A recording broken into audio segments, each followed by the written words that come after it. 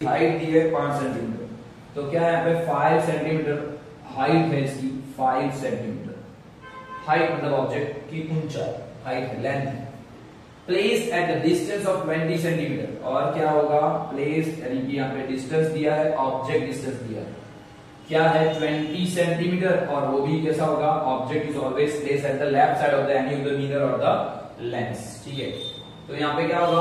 Object is placed at the 20 centimetre u दिया है वो माइनस ट्वेंटी ये हमको दी है हाइट एच दी है ऑब्जेक्ट की हाइट मिरर कौन सा दिया है? कॉन्वेक्स मिरर कौन सा मिरर दिया है? Convex mirror I am drawing rough diagram of here मैं यहाँ पे रफ डायग्राम ड्रॉ करने जा रहा हूँ। तो ये हमारा कॉन्वेक्स मिरर होगा और ये कॉन के उस साइड से हो सकता है लेकिन यहाँ से अगर देखेंगे तो ये कॉन्वेक्स मिरर होगा है ना? एक्चुअली सॉरी सॉरी माइनस ये कॉन्वेक्स मिरर नहीं है। अभी हम लोग यहाँ से देखेंगे माइनस ये कॉन्वेक्स मिरर नहीं है कॉनकेव मिरर था तो अगर कॉन्वेक्स मिरर ड्रॉ करना है तो ये हमारा कॉन्वेक्स मिरर हो जाएगा। This is the convex mirror ठीक है, ये कॉन्वेक्स मिरर होगा, वो कॉनकेव मिरर था। तो ये कॉन्वेक्स मिरर है कॉन्वेक्स मिरर हमने ड्रॉ किया ऐसे।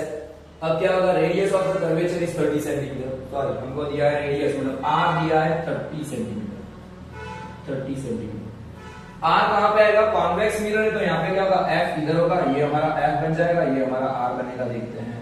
जितना एफ़ लेना है, उतना ही हमको थोड़ा बढ़ा के आर लेना है। तो दिस आर ठीक है आर मतलब हमारा सी है, ये सेंटर ऑफ़ कर्वेचर तो हमारा रेडियस हमको दिया है 30 यानी ये आएगा इस साइड में 30 सेंटीमीटर क्योंकि ये कैसा लेंस है, ये कैसा मिरर है डाइवर्जिंग है, ऐसा होगा, यहाँ से ऐसे निकलेगा। बराबर? दैट्स व्हाई तो कॉन्वेक्स मिरर में ऑलवेज जो इमेज बनेगी वो राइट साइड में बनेगी. दैट्स व्हाई दो इमेज बनती है कॉन्वेक्स मिरर में अब लिखा है r equal to thirty centimetre तो हमारा f क्या होगा फोकल लेंथ क्या होती है? R बाई टू f जो होती है वो r की हमेशा हाफ़ होती है ना? तो दैट्स व्हाई यहाँ पे r बाई टू होगा तो r का आधा यानी थर्टी का हाफ़ कितना हो जाएगा? Fifteen centimetre this is our f. Smaller हमको दिए 15 सेंटीमीटर f हमको दिए 15 सेंटीमीटर ठीक है? यस तो यहाँ पे 15 सेंटीमीटर इज़ f. हमको ढूंढना है position nature size of the image ढूंढनी है मतलब हमको v ढूंढना है। V is the question mark और v कहाँ से लाएँगे मिरर फार्मूला है मिरर है, इसलिए मिरर फार्मूला एप्लीकेबल करेंगे। तो मिरर फार्मूला करते हैं। क्या होता है मिरर फार्मूला हमारा? मिरर फार्मूला आएगा हमारा, क्या आएगा? बोलो बोलो मिरर फार्मूला बोलो क्या होगा? 1 upon f equal to 1 upon v plus 1 upon u So this is 1 upon f equal to 1 upon v plus 1 upon u. This is our mirror formula. ठीक है?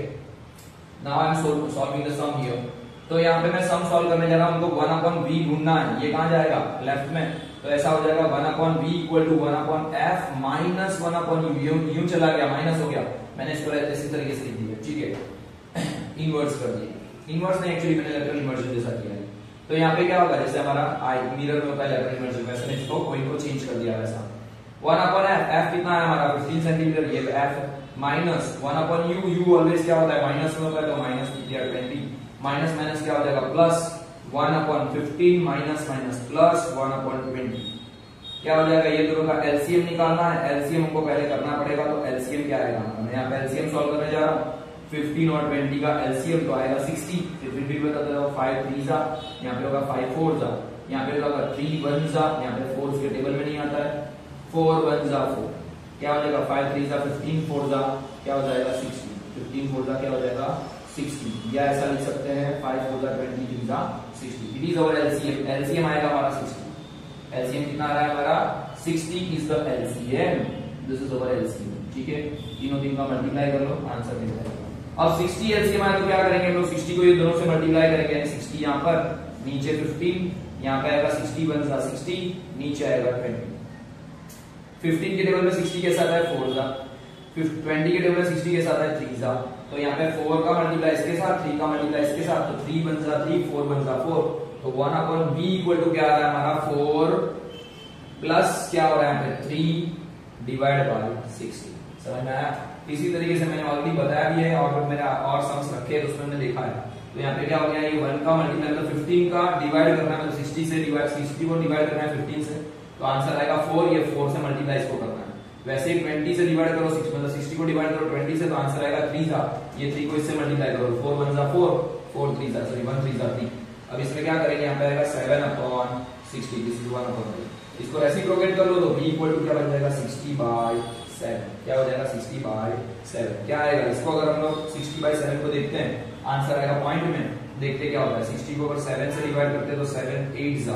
क्या होता है? फिफ्टी सिक्स कितना बचेगा अभी यहाँ पे? चार। ज़ीरो करो पॉइंट में। सेवन फाइव जा थर्टी फाइव क्या हो जाएगा? पाँच बचेगा। ज़ीरो करो सेवन सेवन से in short eight point fifty seven centimetre this is your finally भी आया ठीक है? Eight point fifty seven centimetre हमारा बी मिला। ठीक है? तो दिस इज़ अवर यानी बी मिला है प्लस में। उसका मतलब है कि इमेज बन रही है राइट साइड ठीक है?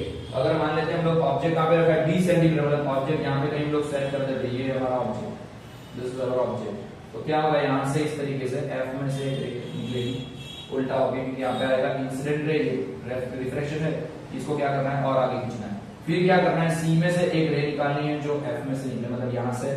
सी में से निकालनी है जो कहाँ से निकलेगी? यहाँ से ऑब्जेक्ट के अंदर से निकलेगी, वैसा।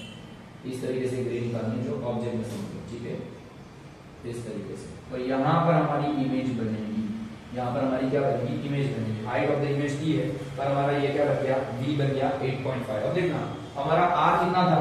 आर था 30 एफ़ कितना है? 15 और ये कितना मिला हमको? 8.57 मतलब अप्रोक्सीमेटली यहाँ पर कहीं इमेज बन रही है।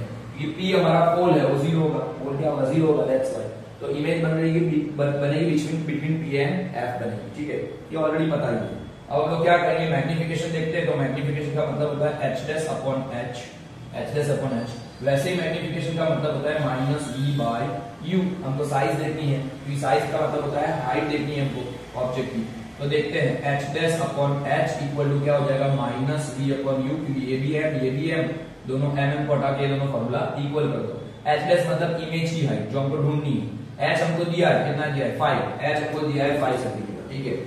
V हमारे पास है, v अभी हमने ढूंढा, लेकिन मैं ये वाली वैल्यू रख रहा हूँ। कौन सी वाली? 60 by seven sixty by seven और आगे माइनस की साइन u कितना है हमारे पास? 20 तो 20 आएगा माइनस में माइनस माइनस क्या हो जाएगा? प्लस 20 के टेबल में 60 आता है यस थ्री जा तो यहाँ पे बन जाएगा H dash upon five equal to three by seven ये फाइव जाएगा मल्टीप्लाई में। तो आंसर आएगा H dash equal to three by seven into five तो three by seven into five यानी H dash equal to three five fifteen by seven और 15 by seven मतलब 2.14 के आसपास लगभग आंसर आएगा। 2.14 अप्रोक्सीमेटली देख लेते 15 अपॉन सेवन तो 15 सेवन टू जा 14 कितना बचेगा यहाँ पे वन ज़ीरो करो पॉइंट में सेवन वन जा सेवन क्या हो जाएगा? 30 मतलब थ्री बचेगा 30 करो सेवन फोर जा ट्वेंटी